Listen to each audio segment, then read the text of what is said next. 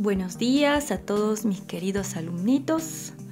Hoy en este encuentro vamos a hablar de los amigos más cercanos de Jesús. Es decir, conocer que Jesús también tuvo un grupo de amigos con quienes compartió su vida y su misión. Pero antes de hablar acerca de los amigos de Jesús, vamos a conocer también dónde es que vivía Jesús y esta es Palestina. Palestina significa tierra de los filisteos. Ha recibido diversos nombres a lo largo de la historia. Canaán, Israel, Judea, Tierra Santa. El clima de Palestina se caracteriza por tener veranos calurosos y secos e inviernos templados y demasiado lluviosos. Su agricultura está relacionada con los cereales, la vid, el olivo, la higuera.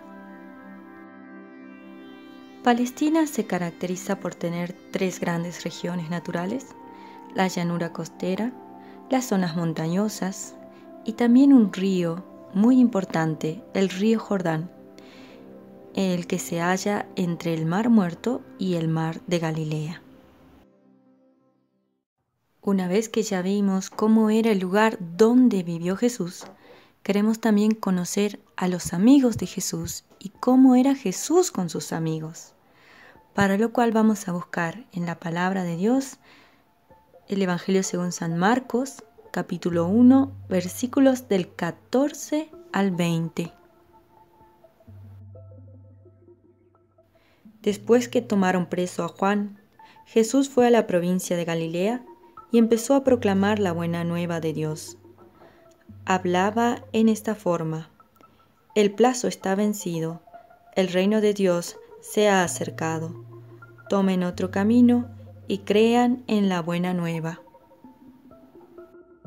Jesús caminaba por la orilla del lago de Galilea. Allí estaba Simón y su hermano Andrés echando sus redes en el mar, porque eran pescadores. Jesús los vio y les dijo, Síganme, que yo los haré pescadores de hombres. Y de inmediato dejaron sus redes y empezaron a seguirlo. Poco más allá, Jesús vio a Santiago, hijo de Zebedeo, con su hermano Juan. También ellos estaban en su barca y arreglaban las redes. De inmediato Jesús los llamó y partieron tras él dejando a su padre Zebedeo en la barca y con los ayudantes. Palabra del Señor, gloria a ti, Señor Jesús.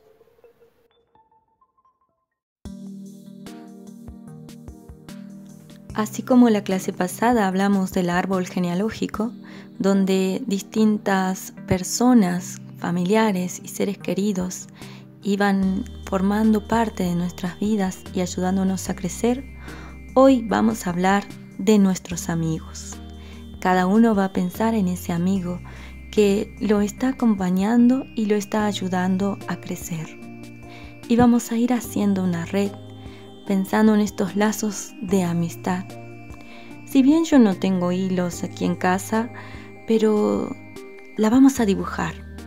¿Y con qué voy a dibujar esta red? La voy a dibujar con un poco de harina.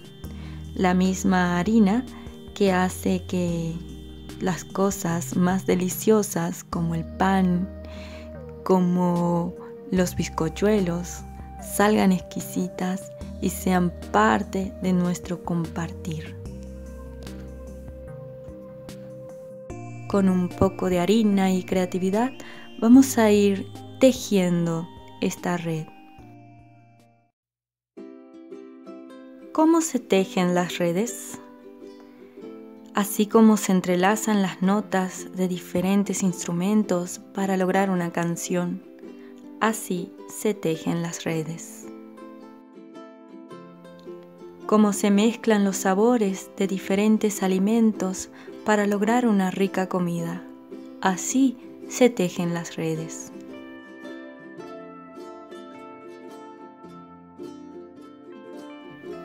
Como se unen diferentes letras para dar un mismo mensaje.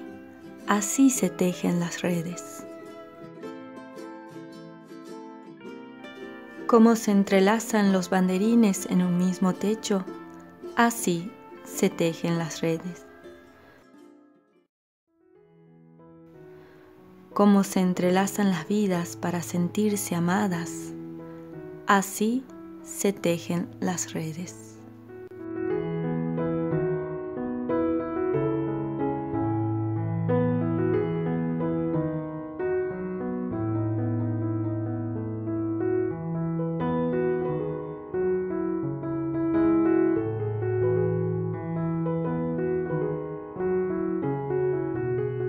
Jesús nos está llamando, nos llama a tejer redes en el amor, a dejar nuestra barca y a seguirlo.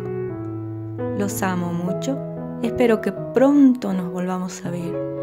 Cuídense, ámense, amen a los demás y así de esa forma estamos siguiendo a Jesús.